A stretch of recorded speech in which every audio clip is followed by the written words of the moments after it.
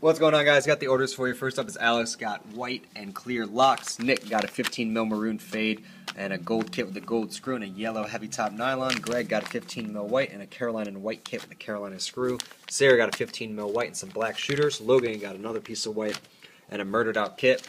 Brooks got two pieces of white. Chris got three pieces of white. Peter got two pieces of white and some clear shooter locks. Peppy got a 15 mil white. Frank got a 15 mil white. JT got three pieces of white and a Princeton kit with some clear shooter locks. James got a murdered out piece and a pink and black kit. Leighton got a 15 mil white, a white kit and some white locks. JP got two pieces of 15 mil black. Jacob got a piece of white and a gray and neon green kit.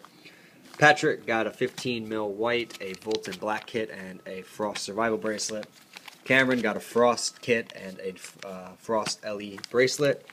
Next up is Matthew, got a 15 mil white and a murdered out kit. Joshua got a 15 mil Carolina to orange and a Carolina white and orange shooter locks. Pretty cool colorway. Coming down here is Brian, got a 20D Frost LE, which is just sick looking. And then finally, Miss Christine got a 12D white.